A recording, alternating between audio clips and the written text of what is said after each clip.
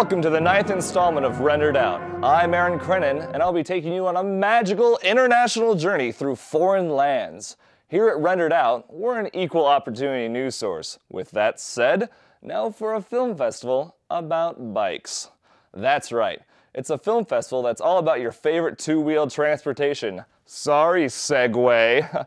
The Filmed by Bike Film Festival is a festival featuring around 30 of the best films about bikes. The festival will take place April 17th through the 23rd, and if you choose to pedal your way to Portland to check it out, know that your dollars will be working hard to bring you the county bike fair. So be sure to check this one out. Sorry, no training wheels allowed. In its 17th year, the Toronto Jewish Film Festival kicks off this year with the film Camera Obscura, an Argentine romance along with 90 other movies about love, music, family, bad guys, baseball, and a little sex.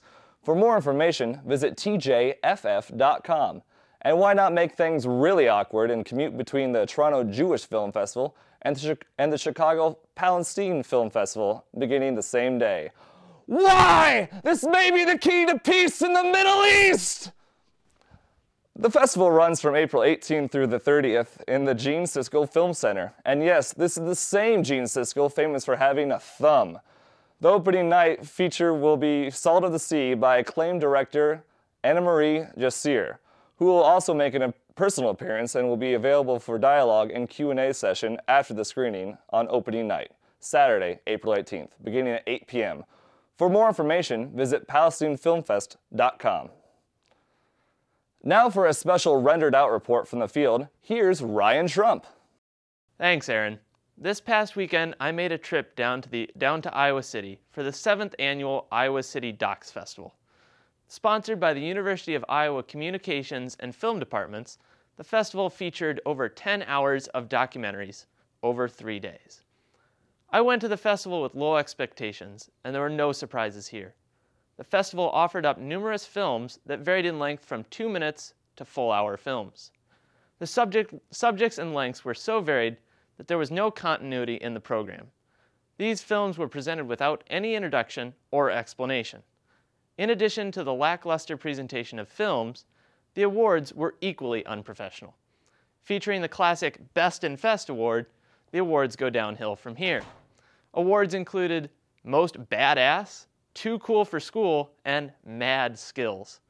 Of the films I saw, Sitting on a Million took home the award for Most Badass. The film covers the infamous Mame Faye, who ran a brothel that was nationally renowned during the 1900s. The film was very highly produced and well done. However, it suffered by being presented following an abstract film that hardly seemed to fit the documentary category at all. The festival judges included Patricia Zimmermann, who offered up a lecture at the conclusion of the festival. Zimmermann is a well-noted filmmaker and professor at Ithaca College in New York. Zimmermann's lecture on speculations on migratory archives had very little to do with the documentary medium and was far over the heads of many of the guests at the festival. Following her presentation, Zimmermann offered up the awards for the evening. Unfortunately, none of the filmmakers were present to receive their awards, but surely would have been embarrassed by the poor turnout. Only 10 to 15 people turned out for the festival, easily surpassed by the powwow that was next door. And as they say, when in Rome, and when in Iowa City, it's time to party. The festival was both started and concluded with parties at two of the local bars. I wasn't able to attend either of these events, but no doubt the parties were as raucous as the screenings. As the only member of the audience that was not a member of the University of Iowa, I can safely say that this subpar film festival is only worth checking out if you're already in the area. So, with that said, now back to you, Aaron. Thank you very much for that enchanting report, Ryan. I am extremely honored to announce the world premiere of Deadland at the Atlanta Film Festival on Saturday night, April 18th at 9.30 p.m. The aptly named Deadland is surprisingly not about zombies, but rather post-apocalyptic nuclear war survivors. Whoopee! Almost the entire movie was shot in Georgia, and over half the cast and crew are from various parts of the state. The film stars Gary Weeks from Burn Notice and The Office, as well as Brian Tee from Fast and the Furious, Tokyo Drift, and up-and-comer Cullen Douglas, noted for his performance in Ace Ventura Jr.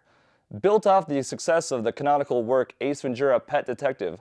Now, I never saw Ace Ventura Jr., but I'm sure this straight to DVD blockbuster will get screwed over come Oscar time. I'm not even sure what I'm talking about anymore. Oh, yeah, check out Deadland, not about zombies.